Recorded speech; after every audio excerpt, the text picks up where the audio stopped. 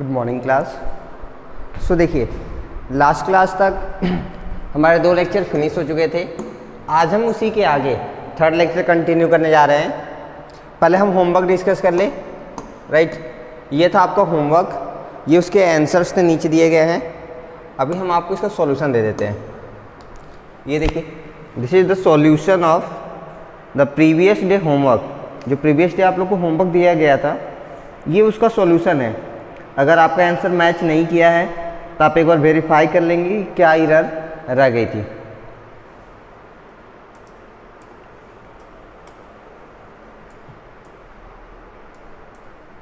ठीक है? आइए नेक्स्ट हम डिस्कस करने जा रहे हैं law of mass action actually ये टॉपिक क्लास इलेवेंथ का है, लेकिन ये मेरा काम है कि आपको रिवाइज कराना। तो आइए देखते हैं लॉ ऑफ़ मास एक्शन क्या होता है। अगर हम साफ़ शब्दों में आपको कहना चाहें कि लॉ ऑफ़ मास एक्शन क्या होता है तो बहुत सिंपल सा होता है। According to this law the rate of chemical reaction is directly proportional to the product of active masses of the reactants with each active mass, with the power equal to its stoichiometric coefficient language थोड़ी सी technical है तो हो सकता है time लग जाए आपको अडॉप्ट करने में बट कोई नहीं, हम एक एग्ज़ाम्पल समझ लेते हैं। मान लीजिए two A plus three B यहाँ पे कोई ए एक रिएक्टेंट है बी दूसरा रिएक्टेंट है, और ये रिएक्शन करके कोई एक प्रोडक्ट बनाते हैं। आप सी लिख लीजिए डी लिख लीजिए, आपको जो सही लगे वो लिख लीजिए। या सिर्फ़ प्रोडक्ट लिख के छोड़ दे, कोई फ़र्क नहीं पड़ता। तो देखिए, ये जो लॉ है, वो ये कहता है कि इसकी जो रेट ऑफ़ रिएक्शन होगी that is directly proportional to the reactants concentration raise to the power their coefficient तो पहले हम डायरेक्टली प्रोपोर्शनल लिख लें। तो देखिए मैं क्या लिखूँगा?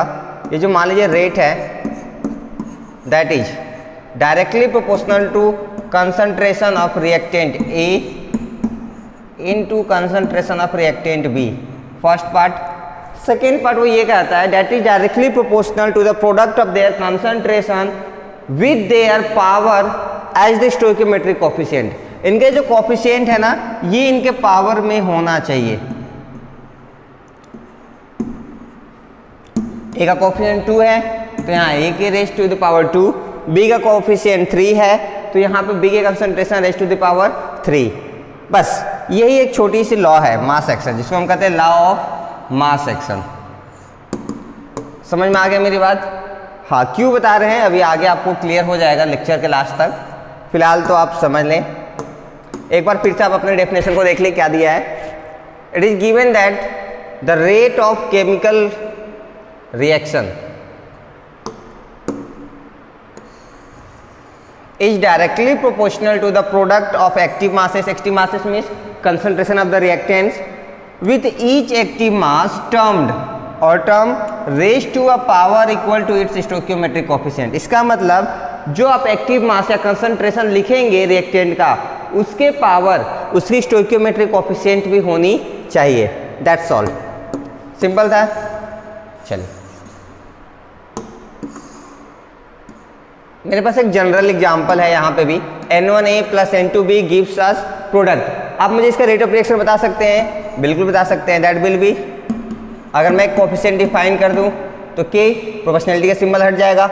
कंसंट्रेशन ऑफ़ ए एक कितना कॉफिशियंट है? N one so raised to the power N one and concentration of B raised to the power that coefficient that is N two that's all simple देखिए, ये चीज़ लिखा हुआ है। प्रोफेशनलिटी के सिंबल के साथ आप ऐसे लिखेंगे, जब आप इस सिंबल को हटाते हैं तो एक नया कांस्टेंट डिफाइन करते हैं, जिसको हम रेट कांस्टेंट कहते हैं दैट इज़ के कर सकते हैं? चलिए।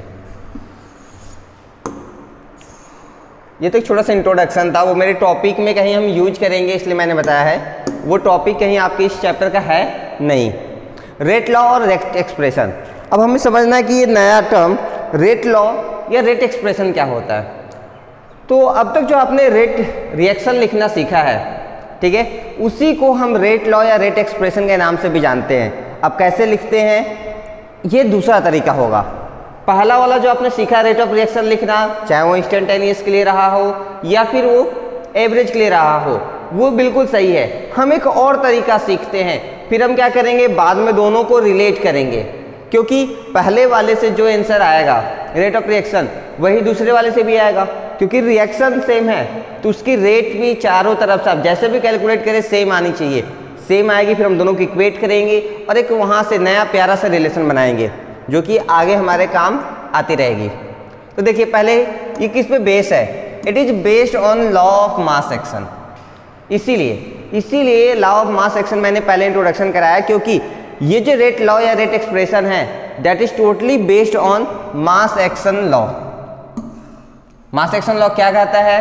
Yes it says that the rate of any chemical reaction is directly proportional to the product of concentration of reactants with their power as the stoichiometric coefficient. दूसरी चीज़ rate law of a reaction can be determined experimentally अगर आपको किसी का rate law निकालना है, किसी भी reaction का रेट लॉ निकालना है तो आपको उसको एक्सपेरिमेंटल वैल्यू से ही कैलकुलेट करना पड़ेगा। यानी कि विदाउट एक्सपेरिमेंट आप सिर्फ़ कैलकुलेशंस करके कैलकुलेट नहीं कर पाएँगे। एकदम छोटी सी पॉइंट और इंपॉर्टेंट है, आपको याद रखना है।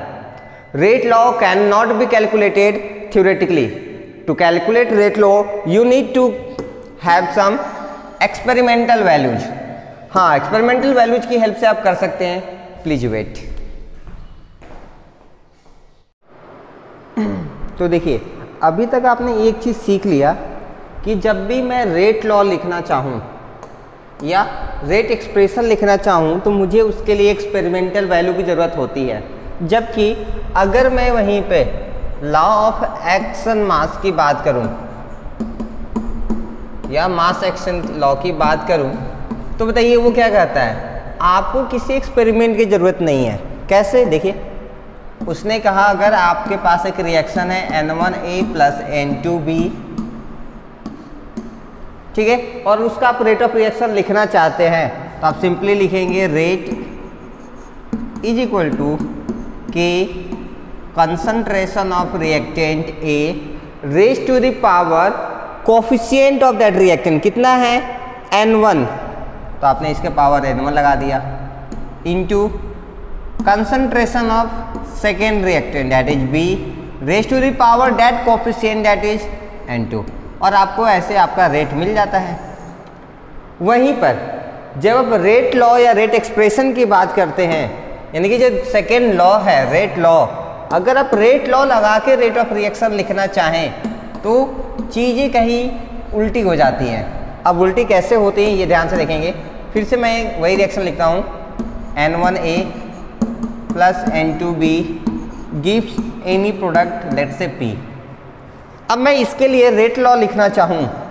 तो मैं लिखूँगा rate is equal to K rate constant concentration of A into concentration of B आप बताइए पावर मुझे क्या लिखना चाहिए?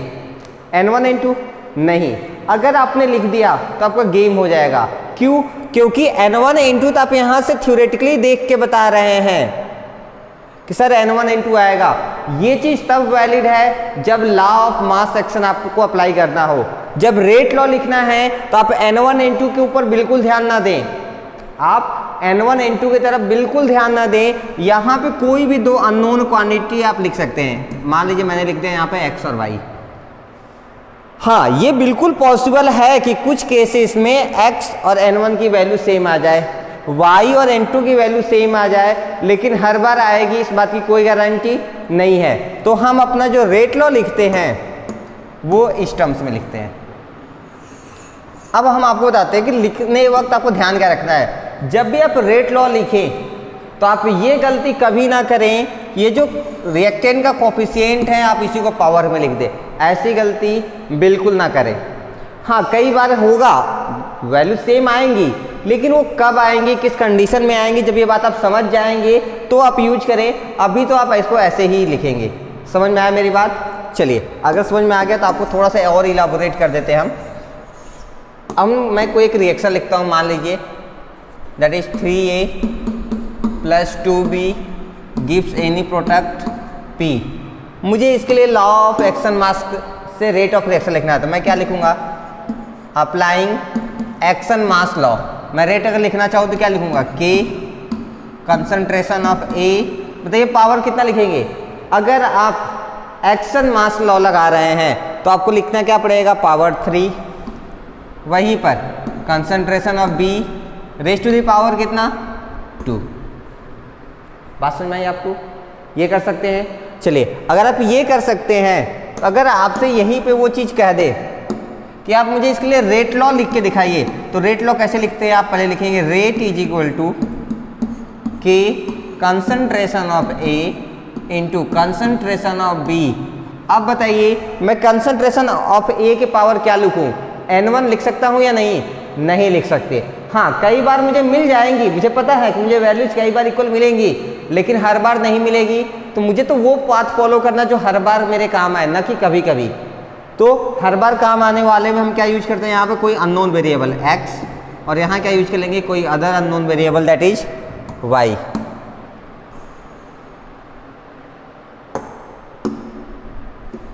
तो डिफरेंस अगर हम बात करें तो बस यही है कि जब law of action mass valid होगा तो आपको कंसंट्रेशन के पावर उसी का कोफिशिएंट लिखना होगा। जब आपसे रेट लॉ लिखने को कहेगा तो आप बिल्कुल भी स्टोइक्योमेट्रिक कोफिशिएंट को पावर पर ना लेके जाए। हो सकता है वैल्यू आ जाए, लेकिन आएगी इस बात की हर बार कोई गारंटी नहीं है। तो हम यहाँ पर नया वेरिएबल डिफाइन करेंगे दैट इज़ एक्स और वाई इतना कर सकते हैं। अब आपके मन में सवाल आएगा, सर तो फिर ये एक्स और वाई की वैल्यू मुझे कहाँ से मिलेगी? हाँ हम वो भी आगे सीखेंगे। मैं जो नेक्स्ट लेक्चर होगा, वहाँ हम बताएँगे कि हम इसको कैसे कैलकुलेट करते हैं। फ़िलहाल तो आप इसको ऐसे लिख के छोड़ दें। तो देख ले, यही दिया rate expression rate is equal to k to the power x and B to the power y अब के क्या हमारा? रेट कांस्टेंट या फिर हाँ rate of rate constant of reaction जिसको हम कई बार स्पेसिफिक रेट ऑफ़ रिएक्शन भी लिखते हैं। अब क्यों लिखते हैं? हम आगे देखेंगे ये क्या होता है। फ़िलहाल अभी आप इसको ऐसे लिख के छोड़ दें। ये जो एक्स है, ये ये तो आपको दिख रहा है कंसंट्रेशन ऑफ़ ए ये भी आपको पता है कंसंट्रेशन ऑफ़ बी एक्स और वाई पे ध्यान देना है। X is the order of reaction with respect to reactant A whereas y y is also the order of reaction with respect to reactant B कर सकते हैं? चलिए। घबराए नहीं, अभी आगे और क्लैरिटी आपको मिल जाएगी। हाँ नेक्स्ट हमें हमारा स्पेसिफिक रेट ये स्पेसिफिक रेट जो भी हमने बताया था, वो होता क्या है? जानना ज़रूरी है ना? तो आइए देखते हैं स्पेसिफिक रेट क्या है। If concentration of reactant is one molar अगर मैं जो कंसंट्रेशन ऑफ़ रिएक्टेंट है, चाहे वो ए का हो या बी का हो या फिर दो है तो दोनों का, अगर मैं उनकी कंसंट्रेशन सिर्फ़ एक मोलर रखूँ तो उस केस में रेट कांस्टेंट हाँ जो रेट कांस्टेंट के है, उसी को हम स्पेसिफिक रिएक्शन कांस्टेंट भी कहते हैं।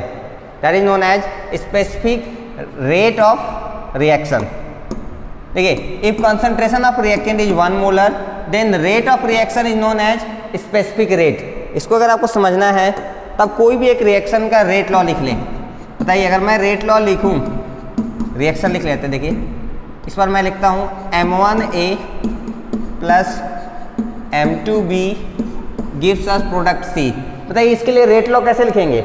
हाँ लिखेंगे रेट इज़ इक्वल टू के ए का कंसंट्रेशन बताइए पावर कितना लिखेंगे? एम वन नहीं। रेट लॉ लिखते वक्त हमने हर बार कहा आपको ध्यान रखना है। आपसे मिस्टेक ये हर बार होगी। आप डायरेक्ट सोचेंगे एम वन को रख दे। बिल्कुल ना रखें। यहाँ पर मैं कोई दूसरी नई वैल्यू मान के रखूँगा। मैंने यहाँ रख लिया एक्स दूसरा रिएक्टेंट दैट इज़ बी और इसका पावर वाई ये है मेरा रेट लॉ जहाँ पे ये एक्स क्या है मेरा? This is the order of the reaction with respect to reactant A y क्या है? It is the order of reaction with respect to reactant B कर सकते हैं? हाँ तो ऐसे रेट लॉ लिखा जाता है। अब, इसी का, अगर आपको जब स्पेसिफिक रेट डिफाइन करना होता है तो स्पेसिफिक रेट डिफाइन करने के लिए हम क्या करते हैं ना? ये जो कंसंट्रेशन ऑफ़ रिएक्टेंट्स हैं, चाहे वो ए हो या फिर बी हो, मैं दोनों को वन मोलर लेता हूँ। तो बताइए अगर मैं एक मोलर मुझे पता है तो मैं क्या लिखूँगा? के इसके जगह पे क्या लिखूँगा? वन क्योंकि इसकी वैल्यू वन है पावर एक्स और बी का भी कंसंट्रेशन वन है तो इसके भी पावर वाई लिख लेंगे। अब मुझे एक बात बताएँ रे, rate is equal to k one के पावर एक्स की वैल्यू कितनी आएगी? सर कहेंगे तो एक्स की वैल्यू पर डिपेंड करेगा. बिल्कुल नहीं। अगर आप यहाँ पर फाइव रहता वन के पावर फाइव तो वैल्यू कितनी आती? वन वन के पावर टेन आएगा तो भी वन यानी कि आप ऐसे कह सकते हैं कि वन के पावर कोई भी नंबर आप लिखें, उसकी वैल्यू हमेशा कितनी आती है? वन आती है. तो वन के पावर एक्स की वैल्यू भी कितनी आएगी? वन इंटू वन के पावर वाई ये भी वन सबको सॉल्व कर देंगे, आपको क्या मिल जाएगा? रेट इज़ इक्वल टू के इसी को हम स्पेसिफिक रेट कहते हैं. This is known as specific rate यानी कि आप ऐसे कह सकते हैं कि rate of the reaction rate of the reaction at the time concentration of all reactant is one molar that will be known as specific rate ऐसा rate of reaction जब मेरे जितने भी रिएक्टेंट हैं, सबके कंसंट्रेशन सिर्फ़ एक मोलर है तो उस केस में जो रेट ऑफ़ रिएक्शन होता है, उसी को हम स्पेसिफिक रेट भी कहते हैं। और वो किसके इक्वल होता है? That is always equal to rate constant वो किसके इक्वल होगा? रेट कांस्टेंट के इक्वल आएगा। कर सकते हैं? चलिए।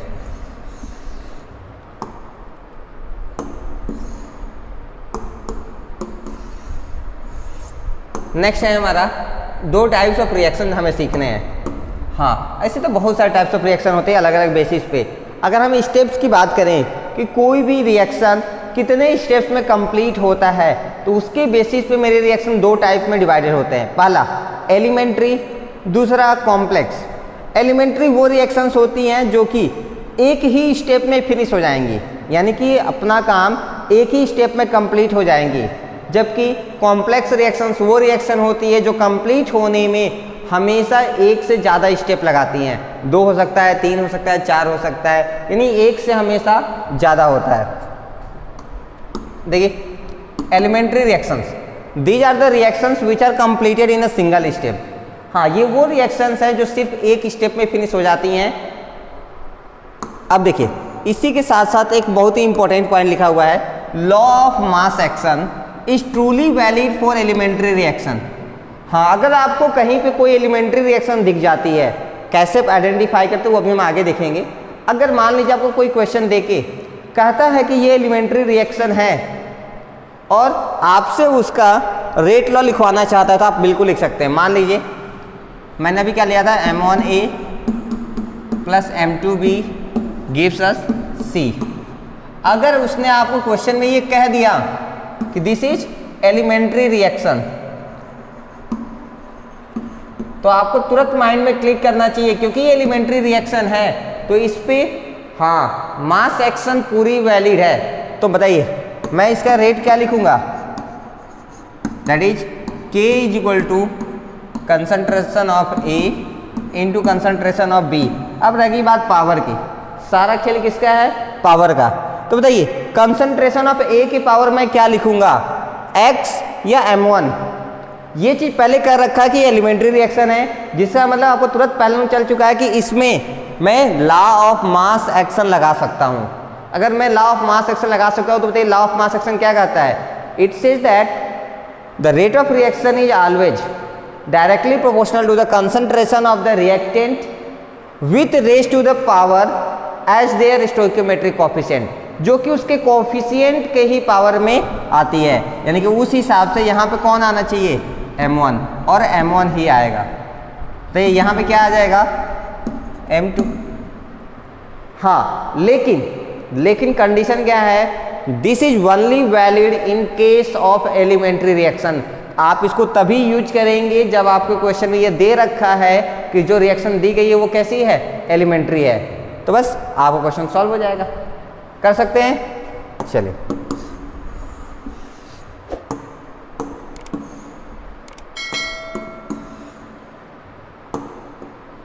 देखिए, आगे क्या दे रहा है? Rate law of the reaction can be written from the stoichiometric coefficient values और कोफिशिएंट्स हाँ अगर आपको रेट लॉ लिखना है, किसके लिए? एलिमेंट्री रिएक्शन के लिए।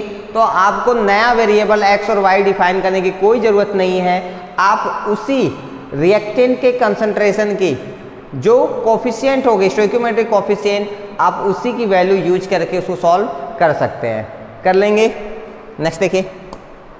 If the given reactant is elementary reaction अब मान लीजिए आपको ये जो रिएक्शन दिया गया है, ये एलिमेंट्री रिएक्शन है, ये आपको दे दिया गया पहले से लिखकर। तो बताइए, क्या आप इसके लिए रेट लॉ लिख सकते हैं? हाँ बिल्कुल लिख सकते हैं। कैसे लिखेंगे हम बताइए? Rate is equal to k concentration of A concentration of B ये पहले से आपको दिया गया है कि ये रिएक्शन कैसी है? एलिमेंट्री रिएक्शन है। तो बताइए, मैं पावर में एक्स वाई लिखूं या पावर में एन वन एन टू हाँ समझ में आया ना? यहाँ मुझे पावर क्या लिखना होगा? एन वन और एन टू लिखना होगा। बन गया मेरा रेट लॉ या रेट एक्सप्रेशन कर सकते हैं। आसान था। कोई दिक्कत है? नहीं है? चलिए।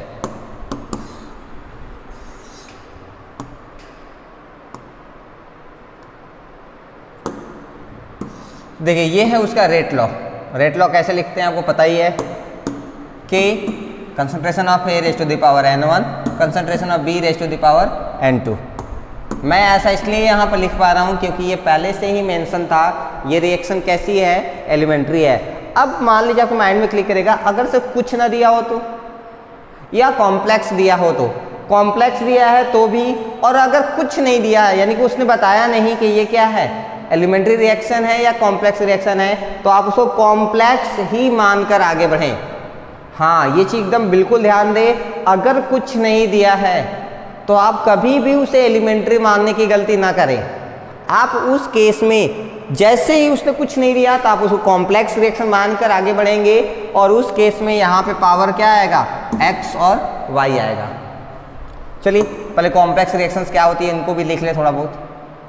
देखिए कॉम्प्लेक्स रिएक्शंस क्या होती है? These are those reactions in which they are completed in more than one step ये वैसी रिएक्शंस होती हैं जो कि एक से अधिक स्टेप में कंप्लीट होती हैं। हाँ दो स्टेप हो सकते हैं, तीन हो सकते हैं, चार हो सकते हैं या उससे भी ज़्यादा। Depending on the factors next देखिए, इसके लिए आपको कुछ नोट पॉइंट ध्यान रखना होता है, जैसे कि each step of a complex reaction is an elementary reaction अब, जितने भी कॉम्प्लेक्स रिएक्शन होंगे, एक बात तो तय है कि वो कई स्टेप्स में कंप्लीट होंगे राइट अब मान लीजिए चार स्टेप में कंप्लीट हुआ। तो चारों को ग्रुप में तो हम कॉम्प्लेक्स रिएक्शन बोलेंगे। लेकिन अगर मैं चारों स्टेप्स को एक एक करके देखूँ, ध्यान दीजिएगा मैं क्या कर रहा हूँ। मैं चारों स्टेप को एक एक करके कंसीडर करूँ तो मैं इनको क्या कहता हूँ? हाँ दे आर एलिमेंट्री रिएक्शंस यानी कि अगर आप इसके, इस रिएक्शन को देखना चाहें तो ये रिएक्शन दो स्टेप में कंप्लीट होता है। पहला, दूसरा। तो ये जो पहला स्टेप है, इसको मैं एलिमेंट्री रिएक्शन कह सकता हूँ। ये जो दूसरा है इसको भी मैं एलिमेंट्री रिएक्शन कह सकता हूँ, लेकिन ये जो क्वेश्चन दिया था, मैं इसको कॉम्प्लेक्स कहूँगा। अब आपके माइंड में आ रहा होगा, ऐसा क्यों? यहाँ भी एक ही लाइन दिख रहा है, यहाँ भी एक ही लाइन दिख रहा है। तो यहाँ एलिमेंट्री यहाँ पे कॉम्प्लेक्स क्यों? क्योंकि ये एक्चुअली जैसा दिख रहा है आपको, वैसी रिएक्शन नहीं हो रही है। यही रिएक्शन दो पार्ट में डिवाइड होकर कंप्लीट होता है, इसलिए ये कॉम्प्लेक्स है। ये दो एलिमेंट्री रिएक्शन का ग्रुप है, जबकि यहाँ पर दोनों एलिमेंट्री रिएक्शन अलग अलग हो गई हैं, इसलिए मैं इसको भी एलिमेंट्री कह सकता हूँ, इसको भी एलिमेंट्री कह सकता हूँ, लेकिन इसको एलिमेंट्री रिएक्शन नहीं कह सकता। एक बार फिर से क्लियर हो जाए, ये एलिमेंट्री रिएक्शन नहीं हो सकता, क्योंकि ये एक स्टेप पे कंप्लीट नहीं होगा। लेकिन यहाँ से जो ये वाला प्रोडक्ट बन रहा है, ये रिएक्शन एक लाइन में कंप्लीट हो गई, फिर यहाँ से नया रिएक्शन स्टार्ट हुआ और यहाँ पे फिर कंप्लीट हो गई। So these are elementary reactions अब कॉम्प्लेक्स रिएक्शन में एक बात तो क्लियर हो गई कि एक से ज़्यादा स्टेप होंगे। होंगे? अब समस्या ये है कि अगर एक से ज़्यादा स्टेप हैं तो मेरे रेट को, जो रेट ऑफ़ रिएक्शन हम लिखेंगे, उसको कौन डिसाइड करेगा? First step second step third fourth या फिर कोई और? मुझे कैसे पता चलेगा? तो इसके लिए सिंपल सी जवाब यही है कि पहले आप ये देखिए कि जो रिएक्शन हो रही है वो फास्ट है स्लो है, ज़्यादा फास्ट है या ज़्यादा स्लो है? फिर आप उसमें ये देखिए कि इन जो भी स्टेप्स आपके सामने हैं, इसमें से सबसे स्लो होने वाली रिएक्शन कौन सी है? जो रिएक्शन सबसे स्लो होगी, वही रिएक्शन आपके रेट को डिफाइन करती है। उसको हम बोलते हैं रेट डिटरमाइनिंग स्टेप क्या बोलते हैं हम? रेट डिटरमाइनिंग स्टेप अब मान लीजिए मेरे पास एक ये रिएक्शन दिया गया है, इसमें ये फास्ट रिएक्शन है और ये स्लो रिएक्शन है। तो बताइए, सबसे लेट कौन फिनिश होगा? ये रिएक्शन यानी कि ये रिएक्शन डिसाइड करेगा कि इस रिएक्शन की रेट क्या होगी। इसलिए मैं इसको क्या कहता हूँ? R D S rate determining step या फिर आप ये भी कह सकते हैं रेट डिसाइडिंग स्टेप डिटरमाइनिंग ज़्यादा प्रोफेशनल वर्ड है अच्छा लगता है। बट हाँ आप याद रखने के लिए डिसाइडिंग भी लिख सकते हैं, कोई इशू नहीं है। बात समझ में आ गई आपको? चलिए। हाँ अभी आपके माइंड में एक सवाल आ रहा होगा, सर, हमें कैसे पता चलेगा कौन सा रिएक्शन फास्ट है, कौन सा रिएक्शन स्लो वो आपको क्वेश्चन में लिख के दिया रहेगा। जैसे यहाँ मैंने आपको दिया हुआ है। तो आप लोड ना लें। जब वो आएगा तो हम उसको भी निकालना सीख लेंगे और उसको भी अच्छे से डिस्कस करेंगे। फ़िलहाल तो आप उसको जाने दें, क्योंकि आपको बस इतना समझना था कि कॉम्प्लेक्स रिएक्शन में एक से ज़्यादा स्टेप्स होती हैं। कॉम्प्लेक्स रिएक्शन आप देख के उसकी एक्सपेरिमेंटल वैल्यूज़ को गेस नहीं कर सकते, यानी कि उसका रेट लॉ आप डिफाइन नहीं कर सकते। आप उसके कोफिशियंट को वहाँ पर पावर के तौर पे यूज़ नहीं कर सकते। एक बात, दूसरी बात, ये जो कॉम्प्लेक्स रिएक्शंस होती हैं, ये कई स्टेप में होंगी। इसकी जो रेट डिटरमाइनिंग स्टेप होगी, वो वही होगी जो सबसे स्लो होती हो। ऐसा क्यों किया गया होगा? हाँ गुड क्वेश्चन ना? देखिए, ऐसा इसलिए किया जाता है क्योंकि जब रिएक्शन स्लो होती है तो उसके अंदर जो भी चेंजेस होते हैं, हम उसको ऑब्ज़र्व कर पाते हैं, हम उसे सीख पाते हैं, हम जान पाते हैं कि ये क्या, कैसे और कितने टाइम में हो रहा है। अब यही चीज़ जब बिल्कुल फास्ट होती तो क्या आप सीख पाते? नहीं सीख पाते। अभी एक ट्रेन स्लोली स्लोली जा रही है। तो आप, जो दो ट्रेन के बीच का गैप होता है, आप उसको फील कर पाते कि हाँ यहाँ पे इसके बीच में गैप है। अब वही ट्रेन अगर बहुत ज़्यादा स्पीड से जा रही हो तो आप उस गैप को फील नहीं कर पाते। यानी कि आप हर एक पार्ट को ऑब्ज़र्व नहीं कर पाते हैं। क्योंकि स्लो रिएक्शंस आसानी से ऑब्ज़र्व हो जाएँगी। इसीलिए कॉम्प्लेक्स रिएक्शन में जितने भी स्टेप्स हैं, उसमें से वो स्टेप जो कि स्लो होती है, वो डिसाइड करेगी पूरे रिएक्शन की रेट क्या होगी। क्लियर चले अब देखिए, मैं अगर रेट लॉ लिखना चाहूँ फ़र्स्ट स्टेप के लिए तो देख लीजिए।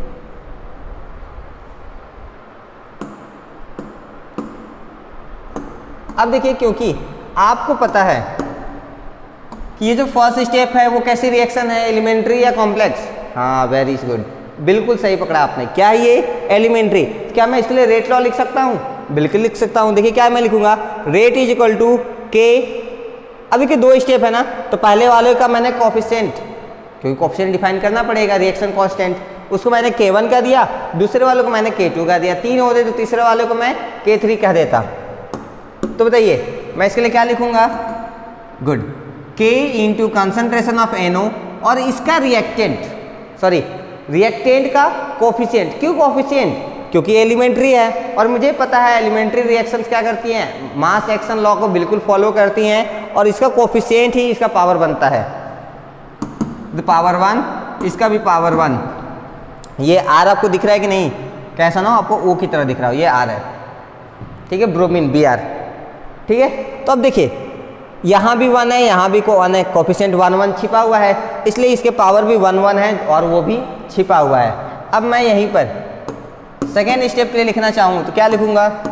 Same cheese rate is to k two फिर concentration of N O B R two power coefficient one है तो power one into concentration of N O power again one तो ये बन गया मेरा फ़र्स्ट ये बन गया मेरा सेकेंड देखिए ये जो रिएक्शन है, ये रिएक्शन कैसी रिएक्शन है? हाँ एलिमेंट्री या कॉम्प्लेक्स कॉम्प्लेक्स है। तो मुझे इसके लिए अगर रेट लॉ लिखना है तो मैं क्या लिखूँगा? रेट इज़ इक्वल टू कि concentration of N O into concentration of B R two आप बस मुझे इतना सा बता दें कि इसके पावर में क्या लिखूं? टू वन या कुछ और? हाँ मैं क्या लिखूँगा? कुछ और। मैं यहाँ लिखूँगा एक्स और मैं यहाँ लिखूँगा वाई ऐसा क्यों? क्योंकि ये कॉम्प्लेक्स रिएक्शन है। कॉम्प्लेक्स रिएक्शन को आप देख कर डिसाइड नहीं कर सकते कि उसकी रेट के वैल्यू में जो मुझे पावर चाहिए, वो पावर क्या होगी। वो मुझे एक्सपेरिमेंटल डेटा से कैलकुलेट करने आना चाहिए। वो हम नेक्स्ट क्लास में सीखेंगे। फ़िलहाल आप इसको इतना समझ लें और इसको जाने दें। समझ में आया मेरी बात? चलें। नेक्स्ट टॉपिक हमारा इंट्रोडक्शन ऑफ़ कोलिजन थियोरी आप बिल्कुल इसका लोड ना लें, आप चाहें तो लिख लें, या फिर चाहें तो छोड़ भी दें, उससे कोई दिक्कत नहीं है। ऐसा क्यों? ऐसा इसलिए क्योंकि कॉलिजन थियोरी अभी हम इस चैप्टर के लास्ट पार्ट में जब हम एंटर करेंगे तो वहाँ काफ़ी डिटेल में सीखेंगे। अभी मैंने सिर्फ़ एक छोटा सा ओवरव्यू दिया है, क्योंकि इन कॉन्सेप्ट से कहीं कहीं मैं थोड़ा थोड़ा यूज़ करूँगा तो आपको समझ में आना चाहिए कि सर क्या कहना चाहते हैं। सही है? आइए देखिए। तो कोलिजन थियरी क्या कहती है? अकॉर्डिंग टू कोलिजन थियरी अगर मैं कोलिजन थियरी की बात करूँ for reactants to react and form product कोई भी दो रिएक्टेंट्स या दो से ज़्यादा रिएक्टेंट्स उनको रिएक्ट करके प्रोडक्ट बनाने के लिए they must collide with each other तो क्या होता है? इनके जो एटम्स होते हैं या मॉलिक्यूल्स होते हैं, ये आपस में टकराते हैं। अगर ये आपस में टकराना बंद कर दें तो कॉलिजन नहीं होगी। और कॉलिजन अगर नहीं हुआ तो रिएक्शन भी नहीं होगी। हाँ ये बात बिल्कुल सच है। डिटेल्स में अभी हम आगे सीखेंगे, तब तक तो बस आप इतना जानते रहें कि कोलिजन थियरी ये कहती है कि कोई भी रिएक्शन के होने के लिए, जितने भी रिएक्टेंट्स हैं, उनके एटम्स या उनके मॉलिक्यूल्स को आपस में टकराना होता है। अगर कोलिजन नहीं होगी तो रिएक्शन भी नहीं होगी। अगर कोलिजन हल्की फुल्की होगी तो रिएक्शन भी हल्की फुल्की होगी, कोलिजन कंप्लीट होगी तो रिएक्शन भी कंप्लीट होगी। बात समझ में आई मेरी?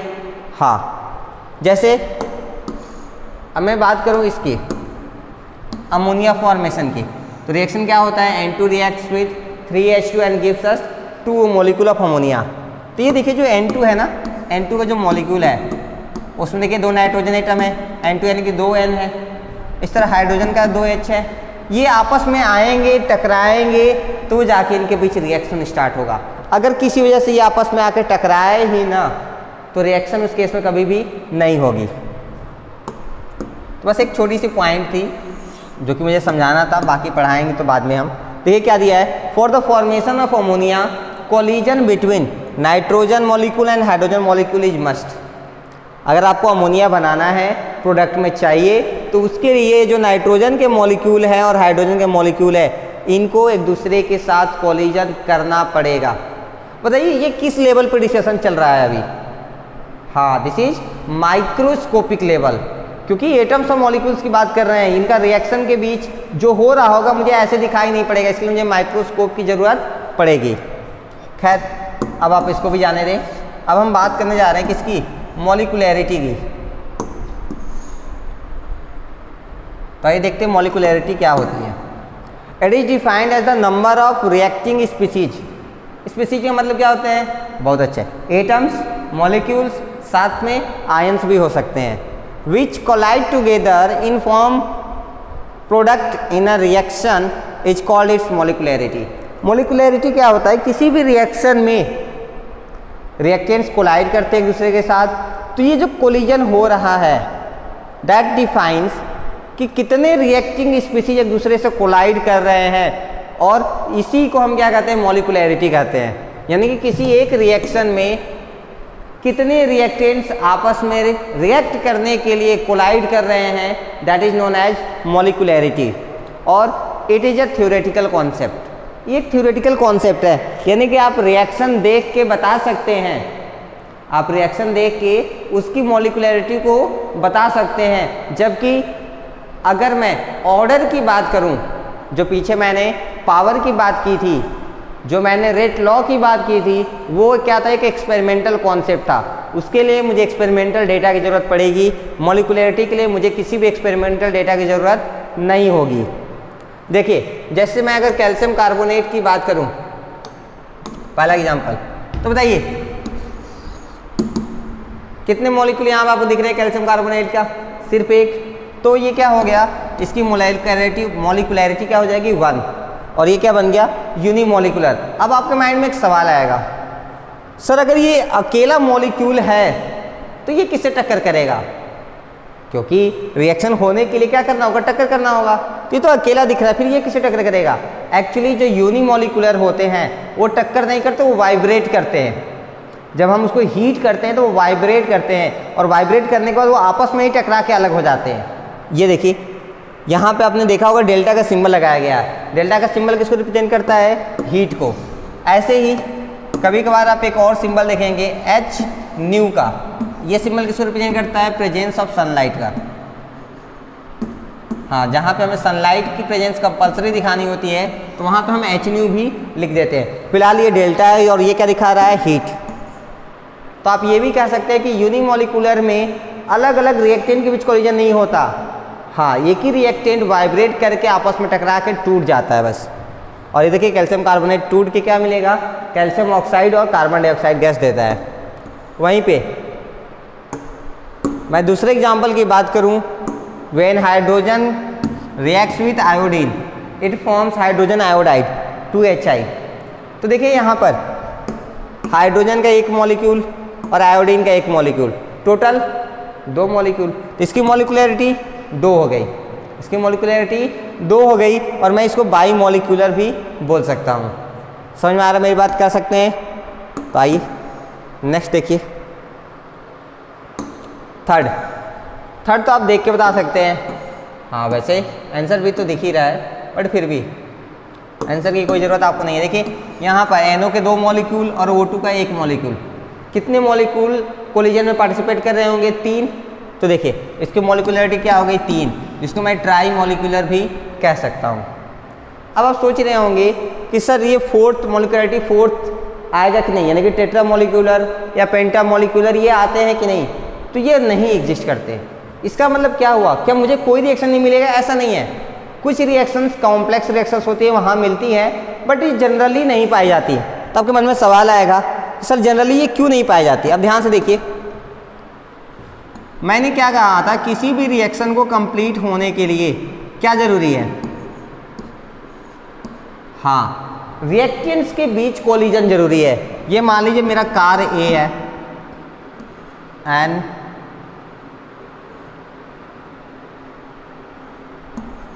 this is car B car की तरफ़ दिख तो नहीं रहा बट मान लीजिए, कोई दिक्कत नहीं है।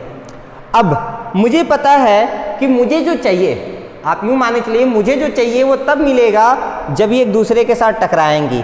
अब बताइए, अगर मैं कार ए को इधर और बी को उधर लेके जाऊँ सोचेंगे कैसे जाएगा? धक्का देके। जैसे भी, अगर मैं लेके जाऊँ तो क्या मेरा रिएक्शन होगा? नहीं। अगर रिएक्शन नहीं होगा तो मुझे जो चाहिए प्रोडक्ट वो तो मिलेगा नहीं। यानी कि मेरा टारगेट क्या है? इनका कोलिजन कराना है। आप ये मत देखिए मेरा कार का नुकसान होगा कि नहीं। आप तो ये देखिए जो आपको चाहिए, वो मिलेगा कि नहीं। और वो कब मिलेगा? जब इनके बीच टक्कर होगी।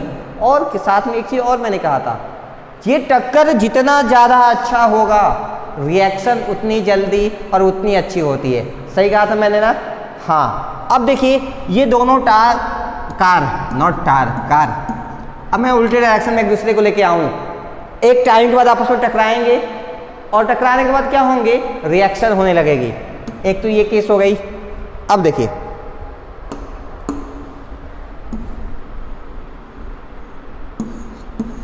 नहीं, ये ना सोचे कि मैं इस बार ट्रक बना रहा हूँ। हाँ वो ट्रक की तरह दिख रहा है, ये बात मुझे भी समझ में आ रही है। लेकिन मेरा मोटो कार, ट्रक और बस नहीं है। अब देखिए, ये केस बना ए बी लेकिन लेकिन, यहीं पर आपको एक चीज़ और समझनी है। ये तो आके टक्कर करने जा रहे थे, एक और ट्रक इधर से मैं लेके आ गया। ठीक है? अब इन तीनों को मुझे एक साथ टक्कर कराना है। तो बताइए जो टक्कर होगी, वो ज़्यादा डेंजरस होगी इस केस में, या पीछे वाले केस में ज़्यादा डेंजरस होगी? सोच के बताएँ। हाँ पीछे वाला ज़्यादा डेंजरस होगा। आप ये ना देखिए सर, यहाँ गाड़ी तीन है तो यहाँ ज़्यादा होगा। ऐसा बिल्कुल नहीं है। जब ये आपस में आके टकराती तो पूरा का पूरा पार्ट एक दूसरे को टच करेगा। जबकि ये जो तीसरी गाड़ी अगर जाके टकराएगी तो कुछ पार्ट इसको टच करेगी, कुछ इसको टच करेगी और हो सकता है इन दोनों को टच करने भी ना दे। यानी कि जो मेरी रिएक्शन है, वो यहाँ पे पूरी तरह से कंप्लीट होने के चांसेस बिल्कुल कम है। दिख रहा है आपको दो कार ना? मान लीजिए तीसरा कार यहाँ भी है। अब बताइए। हाँ यानी कि मैंने एक चीज़ देखी कि जैसे जैसे नंबर ऑफ़ कार मैंने बढ़ाया कोलिजन के चांसेस उतना कम हो रहे हैं और रिएक्शन भी मेरी इनकम्प्लीट होने के चांसेस बढ़ जा रही है। अब सोचिए, मेरे पास चार कार हो तो? हाँ तो आप ये मत सोचिए सर दो कार को इधर लड़ा दे, एक इधर से आ रही है इधर से, और दो को यहाँ लड़ा दे। ऐसा नहीं है। प्रोडक्ट में आपको चारों चाहिए ना? जब चारों चाहिए, यानी कि चारों को एक साथ लड़ाना पड़ेगा तो बताइए कोलिजन और डेंजरस हो जाएगी या फिर और थोड़ी सेफ्टी वाली हो जाएगी? मतलब कि कम डेंजरस होगी। हाँ और कम डेंजरस होगी। पाँच वाले में और कम होगी छः वाले में भी और कम होगी। पास में आपको? हाँ तो ये दिक्कतें हैं। तो इसीलिए इसीलिए हमें मॉलिकुलरिटी तीन तक की रिएक्शंस तो मिल जाती हैं। मॉलिकुलरिटी तीन तक वाली रिएक्शंस मिल जाती हैं और इसके आगे मिलना मुश्किल हो जाता है। ऐसा नहीं है कि नहीं होते। होते हैं, ये रिएक्शंस बहुत रेयर केस में पाए जाते हैं, इसलिए हमें इसके बारे में कोई डिस्कशन करने की ज़रूरत नहीं है। क्लियर है? अब देखिए, मेरे पास कुछ नोट पॉइंट्स हैं जो आपको लिखने हैं। आप लिख लेंगे किसके बारे में मोलिकुलरिटी के बारे में। क्योंकि कई बार आपसे क्वेश्चन पूछा जाता है differentiate between molecularity and order तो आप कहेंगे, सर ऑर्डर क्या है? ऑर्डर तो भी मैं इसके आगे पढ़ाऊँगा ना। तो मैं दोनों का अलग अलग डिफ्रेंशिएट करके नहीं लिखाऊँगा। आपको दोनों की प्रॉपर्टी बता दूँगा। अगर कोई पूछ लेता है या बोर्ड पूछ लेता है या कोई भी तो आप दोनों का अंतर आपको पता रहेगा, तब अपने से लिख लेंगे। देखिए, पहला molecularity can not be zero अब इससे क्या मतलब हुआ? अगर मोलिकुलरिटी आपने ज़ीरो कर दिया, यानी उसमें एक भी मॉलिक्यूल नहीं है, जब मॉलिक्यूल ही नहीं है तो रिएक्शन कैसे होगा? सही बात है ना? जब मॉलिक्यूल्स रहेंगे, तभी तो रिएक्शन होगा, जब मॉलिक्यूल ही नहीं है तो रिएक्शन होगा? नहीं। यानी कि मॉलिकुलरिटी कभी भी ज़ीरो नहीं हो सकती। Molecularity can not be negative molecularity कभी निगेटिव ही नहीं हो सकता माइनस वन अब बताइए, जब कार ही नहीं है तो कार का टक्कर कैसे होगा? नेक्स्ट फ्रैक्शनल क्या हो सकता है ढाई कार आके लड़ाई करें? ढाई कार। कैसे? नहीं होगा। दो कार, तीन कार, चार कार। हाँ कम कोलिजन होगा, लेकिन हो जाएँगे। लेकिन ढाई कार, साढ़े तीन कार, साढ़े चार कार, क्या पॉसिबल है? नहीं। तो मॉलिकुलरिटी फ्रैक्शनल नहीं हो सकता। मॉलिकुलरिटी इन्फिनिटी भी नहीं हो सकता। आप ये नहीं कि ला के एकदम पता चला लाखों करोड़ गाड़ी आके लड़ा रहे हैं। पॉसिबल ही नहीं है। आप उनको रखने के लिए पहले जगह चाहिए, तब तो आके लड़ेंगी। तो ये पॉसिबल नहीं है। यानी कि आपको ये जो वैल्यूज़ लिखी गई हैं these are impossible values for molecularity molecularity कभी ज़ीरो नहीं होगी मोलिकुलरिटी कभी नेगेटिव नहीं होगी मोलिकुलरिटी कभी फ्रैक्शनल वैल्यू नहीं हो सकती। साथ ही साथ molecularity can not be infinite second point reaction with molecularity greater than three यानी कि ऐसी रिएक्शंस जिसकी मोलिकुलरिटी तीन से ज़्यादा हो they are very rare or rarely observe ये बिल्कुल कम कहीं कहीं कभी कभार लैब वगैरह में देखने को मिल जाए अदरवाइज़ ये देखने को नहीं मिलती। ऐसा क्यों नहीं होता होगा? हाँ क्योंकि जो कोलिजन की प्रोबिलिटी होती है, वो लगातार क्या हो जाती है? घट जाती है। As the probability of colliding more than three molecules to form product is very less क्योंकि इनके बीच का जो कोलिजन होता है, उसकी प्रोबेबिलिटी कम हो जाती है चांसेस कम हो जाते हैं, इसलिए। Next and very important there is no meaning of overall molecularity of a complex reaction यानी कि एक कॉम्प्लेक्स रिएक्शन अगर मैं दे दूँ आपको, ध्यान रहे कॉम्प्लेक्स रिएक्शन वो रिएक्शंस होती हैं जो एक से ज़्यादा स्टेप में कंप्लीट होती हैं। दिखता ज़रूर है आपको कि एक स्टेप में हो रहा है, लेकिन एक स्टेप में नहीं होती। तो ऐसे रिएक्शंस के लिए आप मोलिकुलरिटी डिफाइन नहीं कर सकते। क्या कहा मैंने? आप डिफाइन नहीं कर सकते। देखिए, अब आपके सामने एक एग्ज़ाम्पल है, वही अमोनिया वाला। बताइए, इसकी मोलिकुलरिटी कितनी होनी चाहिए? आप कहेंगे फोर नहीं। क्यों नहीं होगी? ध्यान से देखिए, ये कॉम्प्लेक्स रिएक्शन है। अब देखिए, ये चीज़ लिखा हुआ है since here we are observing molecularity more than three यहाँ पर हमें क्या मिल रहा है? जो मोलिकुलरिटी वो मोर देन थ्री है। यानी कि ये रिएक्शन आपको एलिमेंट्री रिएक्शन नहीं है। कैसे रिएक्शन है ये? कॉम्प्लेक्स रिएक्शन और फिर आपको टाइम लगेगा। आपको ऑब्ज़र्व करने में टाइम लगेगा कि पहले ये रिएक्शन कैसे हो रही होंगी। आप इसकी शक्ल देख के इसके बारे में कुछ नहीं कह सकते। There this reaction is not an elementary reaction इसका मतलब ये जो रिएक्शन है, ये एलिमेंट्री रिएक्शन नहीं है। Because for a complex reaction each step has its own individual molecularity और मैं ऐसा क्यों नहीं बता सकता? क्योंकि ये जो कॉम्प्लेक्स रिएक्शन है ये कई स्टेप में कंप्लीट होगा और हर एक स्टेप का अपना अलग अलग मोलिकुलरिटी आता है। और मैं इस पूरे रिएक्शन के लिए कोई मोलिकुलरिटी डिफाइन नहीं कर सकता।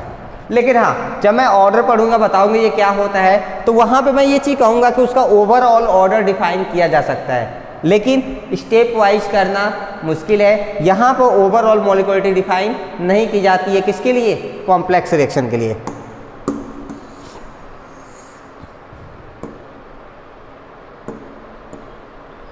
नेक्स्ट टॉपिक आ गया हमारा ऑर्डर तो देखिए ऑर्डर क्या होता है? It can be defined as the sum of powers of all concentration terms involve in any reaction किसी एक रिएक्शन में जितने भी रिएक्टेंट्स हैं, मान लीजिए मेरे पास है N1 P N2 Q N3 R N4 S ऐसे गिव्स एनी प्रोडक्ट पी तो यूज़ कर लेना। आप यहाँ पर मान लीजिए एक्स कोई एक प्रोडक्ट है। मुझे इसके लिए रेट लॉ लिखना है, मैं क्या लिखूँगा? रेट इज़ इक्वल टू क्या आप मुझे देख के बता सकते हैं ये रिएक्शन कैसे रिएक्शन होगी? एलिमेंट्री या कॉम्प्लेक्स नहीं बता सकते। मुझे भी नहीं पता। आपको कैसे पता होगा? जब तक ये लिख के नहीं देगा एलिमेंट्री है, हम क्या मान के चलते हैं इसको? कॉम्प्लेक्स क्या मैं कॉम्प्लेक्स रिएक्शन के लिए रेट लॉ लिख सकता हूँ डायरेक्टली नहीं। मुझे इसके लिए नए वेरिएबल्स को डिफाइन करना होगा। तो मैं क्या लिखूँगा? K concentration of P into concentration of Q into concentration of R into concentration of S देखिए पावर में क्या लिखूँ? N one n two n three n four या कुछ और? हाँ कुछ और। यानी कि मुझे लिखना होगा यहाँ पर एक्स वाई जेड अब ये कहाँ बच गया? कोई एक और वेरिएबल ले लीजिए। ए ले लीजिए अल्फ़ा ले लीजिए बीटा गामा डेल्टा इनकी कमी थोड़ी है। आप किसी को भी ले लें। तो देखिए ऑर्डर क्या है? समस्या ये नहीं था, ये तो हमें पहले से भी पता है कि मुझे कैसे लिखना होता है। समस्या ये कि यहाँ ऑर्डर क्या है? हाँ ऑर्डर वो नहीं है जो जज साहब बैठ के कहते हैं ऑर्डर ऑर्डर ऑर्डर यहाँ ऑर्डर ये जो कंसंट्रेशन टर्म्स हैं, इनके जो पावर में वैल्यूज़ हैं, इनका सम होता है। इसका मतलब sum of all powers of all reactants अब बताइए, इसके लिए अगर मैं लिखना चाहूँ तो मैं क्या लिख सकता हूँ? इसका पावर कितना? X प्लस इसका y प्लस इसका z प्लस इसका a. A क्या? A ले लीजिए अल्फ़ा बीटा गामा आपने जो भी लिखा होगा, आप उसको यहाँ लिख लेंगे। आप इन जितने भी रिएक्टेंट्स हैं अगर इन सारे के कंसंट्रेशन टर्म्स के पावर को आप ऐड कर दें तो जो वैल्यू मिलेगी, उसी को हम उसका ऑर्डर कहते हैं। क्या कहते हैं उसको? ऑर्डर कहते हैं। अभी और आपको समझ में आएगा, परेशान ना हो। तो ये चीज़ समझ में आ गई? अब आप देखिए। मेरे पास एक रिएक्शन दी गई है। बताइए, अगर ये रिएक्शन एलिमेंट्री है, अगर ये रिएक्शन एलिमेंट्री है तो मैं रेट लॉ क्या लिखूँगा? K concentration of A to the power n one क्योंकि एलिमेंट्री रिएक्शन किसको फॉलो करती है? मास एक्शन लॉ को। उस केस में जो कॉफिशियंट है, यही उसका पावर बनेगा। बताइए बी के पावर एन टू किसके लिए? फोर एन एलिमेंट्री रिएक्शन अगर कॉम्प्लेक्स हुआ तो? तो फिर मुझे नहीं पता ये एन वन आएगा कि एन टू आएगा कि एन थ्री आएगा। मुझे नया वेरिएबल डिफाइन करना होगा एक्स और वाई और मैं ऑर्डर लिखना चाहूँ तो मैं क्या लिखूँगा? इसके लिए अगर लिखना है मुझे ऑर्डर तो मैं लिखूँगा very good n one plus n two इसके लिए अगर मुझे ऑर्डर लिखना है तो मैं क्या लिखूँगा? एक्स प्लस वाई तो हम तो कॉम्प्लेक्स के साथ ही डील करेंगे। तो हम ऐसे कैलकुलेट करेंगे। यानी कि अगर आपको सब सिंपल शब्दों में कहा जाए तो आपको बस ये याद रखना है। चलिए कोई नहीं, सुन लीजिए। आपको सिर्फ़ ये याद रखना है कि ऑर्डर क्या होगा? टोटल जितने भी रिएक्टेंट्स हैं उनके कंसंट्रेशन के पावर में जो भी वैल्यूज़ है सबको ऐड कर दीजिए आपको आपका ऑर्डर मिल जाएगा। अभी थोड़ी देर वेट कर ले लाइट आएगा तो आगे कंटिन्यू करेंगे। सो so, देखिए अब आपको ऑर्डर कैलकुलेट करने आ गया होगा। राइट चलिए अगर आपको ऑर्डर कैलकुलेट करने आ गया तो देखिए कुछ पॉइंट्स आपको ध्यान रखना है। Since rate law is experimentally determined क्योंकि रेट लॉ की अगर हम बात करें तो किससे डिटरमाइन किया जाता है एक्सपेरिमेंटली एक्सपेरिमेंटल वैल्यू से। इसीलिए ऑर्डर की value is also determined experimentally क्योंकि जब तक आपको रेट लॉ नहीं मिलेगा, आप तब तक ऑर्डर कैलकुलेट नहीं करेंगे। क्योंकि रेट लॉ कैसे लिखते हैं हम? Rate is equal to k concentration of A to the power x concentration of B to the power y यही है मेरा रेट लॉ जब तक आपको ये रेट लॉ नहीं देंगे हम, आप तब तक ऑर्डर कैलकुलेट नहीं कर सकते। क्यों नहीं कर सकते? क्योंकि ऑर्डर कैसे कैलकुलेट करते हैं? एक्स प्लस वाई जो भी रिएक्टेंट्स हैं, उनके कंसंट्रेशन के पावर को ऐड करते हैं। तो जब तक हम आपको ये वैल्यू देंगे नहीं, तब तक आपको एक्स वाई नहीं मिलेगा। और जब तक आपको एक्स वाई नहीं मिलेगा, तब तक आप ऑर्डर कैलकुलेट नहीं कर सकते। तो बताइए, ये रेट लॉ हम कहाँ से लिखते हैं? एक्सपेरिमेंटल डेटा से। तो क्योंकि ये रेट लॉ एक्सपेरिमेंटली कंक्लूड किया जाता है। इसीलिए हम ये भी कह सकते हैं कि जो ऑर्डर है that is also calculated experimentally मतलब ये भी क्या है? एक्सपेरिमेंटली ही कैलकुलेट किया जाएगा। नेक्स्ट पॉइंट देखिए। Order of a reaction can be zero fractional but can not be infinite देखिए, अगर आपको मोलिकुलरिटी के और ऑर्डर के डिफरेंस पूछे जाए तो हमने क्या देखा था? Molecularity can not be zero क्योंकि ज़ीरो मॉलिक्यूल होते ही नहीं है but order can be zero molecularity can not be fractional but order can be fractional लेकिन यहाँ पर सिमिलरिटी भी है। Neither molecularity can be infinity neither molecularity की वैल्यू इन्फिनिटी हो सकती है और ना ही ऑर्डर की वैल्यू इन्फिनिटी हो सकती है। अभी आप सोच रहे होंगे, सर, ये नेगेटिव वाला कहाँ चला गया? क्योंकि मोलिकुलरिटी में बताया था आपने, वो नेगेटिव नहीं होता है। तो क्या ये ऑर्डर नेगेटिव होता है या नहीं? इसका आंसर आपको एक्चुअली आगे की लाइन से मिलेगा। अगर हम ये बात करें कि किसी भी रिएक्टेंट के टर्म में ऑर्डर नेगेटिव होगा कि नहीं तो बिल्कुल हो सकता है। लेकिन अगर मैं ओवरऑल हाँ अगर मैं ओवरऑल कैलकुलेट करूँ ऑर्डर तो वो वैल्यू नेगेटिव नहीं आती है। अभी हम आगे देखेंगे। फ़िलहाल ये नोट कर लेंगे आप। नेक्स्ट पॉइंट है order with respect to a particular reactant में भी नेगेटिव किसी भी एक पर्टिकुलर रिएक्टेंट की कंसंट्रेशन के रिस्पेक्ट में अगर हम बात करें तो ऑर्डर की वैल्यू नेगेटिव आ सकती है, लेकिन overall order of the reaction will be positive यानी कि वे कभी भी नेगेटिव नहीं हो सकते but they can't be negative in case of overall reaction next देखिए in general order order is found up to three अगर हम इन जनरल बात करें तो जैसे मोलिकुलरिटी तीन तक पाई जाती है, वैसे ऑर्डर भी तीन तक पाया जाता है. But there is not restriction ऐसी कोई रेस्ट्रिक्शन नहीं है कि वो तीन ही रहेगा, वो चार, पाँच भी हो सकते हैं। हाँ ये बात और है कि हमें ऐसे रिएक्शंस देखने को जल्दी नहीं मिलेंगे। नेक्स्ट पॉइंट देखिए। फॉर एलिमेंट्री रिएक्शंस अगर हम एलिमेंट्री रिएक्शन के लिए बात करें तो बताइए ऑर्डर की वैल्यू किसकी इक्वल हो जाती है? मॉलिकुलरिटी की इक्वल हो जाती है। अभी सोच रहे होंगे कैसे? आपके माइंड में सवाल आएगा कैसे? तो मान लीजिए मेरे पास कोई एक एलिमेंट्री रिएक्शन है।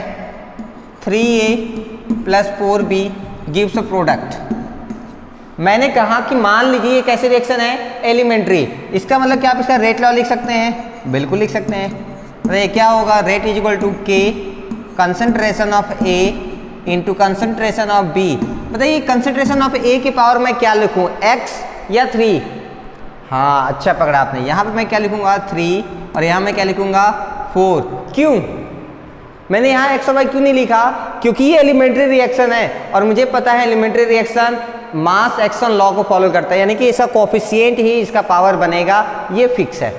तो मैंने फिक्स कर दिया। क्या मैं इसका ऑर्डर बता सकता हूँ? बिल्कुल बता सकते हैं। बताइए इसका ऑर्डर कितना आ जाएगा? थ्री प्लस फोर सेवन अगर आप यहाँ से इसकी मोलिकुलरिटी देख के गेस करना चाहें तो भी आप कितना गेस करेंगे? सेवन थ्री मॉलिक्यूल्स ए के फोर मॉलिक्यूल्स बी के सेवन लेकिन, इससे क्या पता चलता है मुझे? इससे ये चीज़ पता चलती है कि ये रिएक्शन कैसी है?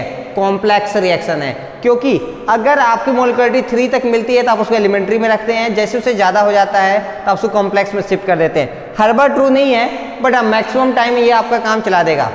फिर, जब आपको एक्चुअल वैल्यू चाहिए कि कौन से ऐसे तरीका है जिससे मुझे एक्चुअली पता चल जाए कि ये कब ट्रू है, कब नहीं ट्रू है, उसके लिए आपको हायर क्लास का वेट करना पड़ेगा। अभी तक तो बस आप इतना जान लें। तो देखिए, यहाँ पर अगर आप देखेंगे तो आपको मोलिकुलरिटी कितनी मिली? सेवन। ऑर्डर कितना मिला? सेवन। क्या दोनों इक्वल हो गए क्या? हाँ। और ये हर बार इक्वल होंगे। क्यों इक्वल होंगे? क्योंकि देखिए मोलिकुलरिटी कैसे निकालेंगे? Sum of coefficients three plus four order कैसे निकालेंगे? सम ऑफ़ द पावर अच्छा पावर एलिमेंट्री रिएक्शन पे कौन जाता है? यही कॉफिशियंट जाते हैं वहाँ पर। तो उनका सम भी उतना ही आएगा। इसीलिए for any elementary reaction for any elementary reaction, order is always equal to molecularity. Next देखिए, आपके सामने एक और एग्जांपल है। Two A plus B equal to product आप बताइए, इसकी मोलिकुलरिटी यहाँ से देख बता सकते हैं? कितना? थ्री अगर मैं इसके लिए रेट लॉ लिखूं तो मैं क्या लिखूँगा? K concentration A raise to the power two क्योंकि एलिमेंट्री रिएक्शन है तो इंटू बी तो देखिए, यहाँ से टू इसका पावर वन कितना आ गया इसका ऑर्डर थ्री मोलिकुलरिटी भी कितनी थी इसकी? थ्री थी. तो देखिए, यहाँ पे ऑर्डर और मोलिकुलरिटी क्या हो गए? थ्री थ्री सेम हो गए. नेक्स्ट देखिए for a complex reaction overall order is defined अगर मैं कॉम्प्लेक्स रिएक्शन की बात करूँ तो उसके लिए मुझे ओवरऑल ऑर्डर की डिफाइंड वैल्यू निकालनी पड़ेगी. क्या ओवरऑल मोलिकुलरिटी भी डिफाइन होती है? नहीं होती. मैंने पीछे पढ़ाया था, वहाँ पे ओवरऑल मोलिकुलरिटी डिफाइन नहीं होती थी, जबकि यहाँ पे ओवरऑल ऑर्डर की वैल्यू डिफाइन हो जाती है। नेक्स्ट देखिए। Which is calculated on the basis basis of R D S ये क्या है? रेट डिटरमाइनिंग स्टेप क्योंकि कॉम्प्लेक्स रिएक्शन में तो ढेर सारी स्टेप्स होंगी। उसमें फास्ट होंगी स्लो होंगी। मुझे पता है रेट कौन डिफाइन करता है? जो स्लो रिएक्शन होंगी। So is the point next one is a zero order reaction will be always a complex reaction अब इसकी क्या बात हुई? आइए देखिए। जो भी ज़ीरो ऑर्डर रिएक्शंस होंगी ज़ीरो ऑर्डर का मतलब मान लीजिए मेरे पास ये कोई एक रेट लॉ है। रेट लॉ के लिए तो मुझे यहाँ पर रेट भी लिखना पड़ेगा ना। चलिए लिख लेते हैं। ये मुझे रेट लॉ दिया गया है। कह रहे हैं इसका ऑर्डर ज़ीरो है। Order is given as zero तो बताइए मुझे ऑर्डर की वैल्यू हम कैसे कैलकुलेट करते हैं? इनका sum x plus y is equal to zero आप बताइए, अगर ये रिएक्शन एलिमेंट्री रिएक्शन होती, अगर ये रिएक्शन एलिमेंट्री रिएक्शन होती तो बताइए इस केस में मॉलिकुलरिटी और ऑर्डर भी क्या हो जाते इक्वल हो जाते? क्योंकि मुझे पता है for any elementary reaction molecularity and order is same क्या किसी भी रिएक्शन की मॉलिकुलरिटी की वैल्यू कभी भी ज़ीरो होगी? नहीं, यही तो था इसका first property molecularity can not be zero तो मोलिकुलरिटी तो ज़ीरो हो ही नहीं सकती, लेकिन ऑर्डर ज़ीरो दिया है. यानी कि मोलिकुलरिटी और ऑर्डर की वैल्यू सेम नहीं है. और अगर ये सेम नहीं है, इसका मतलब क्या है? This is a complex reaction तो आपको हमेशा याद रखना है zero order is always and always a complex reaction कर सकते हैं? चलिए। नेक्स्ट आपके लिए कुछ छोटे छोटे होमवर्क हाँ छोटे नहीं, आप ऐसे कह सकते हैं बहुत छोटे होमवर्क अब मैं ऐसा क्यों कह रहा हूँ, आपको समझ में आएगा। पहले एक बार इसको छोटा कर लें हम। क्योंकि होमवर्क भी छोटा साइज़ भी छोटा। ये है होमवर्क आपको। आपको बस बताना है ट्रू फॉल्स तीन स्टेटमेंट आपके सामने दी गई है, इसमें से कौन सा ट्रू है, कौन सा फॉल्स है, और और बस क्या? यही तो होगा, या तो ट्रू होंगे या तो फॉल्स तीन है स्टेटमेंट आप तीनों को ध्यान से करेंगे। इसमें एक एक वर्ड की मीनिंग इंपॉर्टेंट है। आज इतना ही, बाकी हम नेक्स्ट क्लास में डिस्कस करेंगे। नेक्स्ट क्लास हमें उम्मीद है, हम पहले आपको ये बताएँगे कि एक्सपेरिमेंटली हम ऑर्डर की वैल्यू कैसे कैलकुलेट कर सकते हैं? या एक्सपेरिमेंटली हम रेट लॉ की वैल्यू कैसे कैलकुलेट करते हैं? चलिए तो आज इतना ही, बाकी नेक्स्ट क्लास में. Till that thank you so much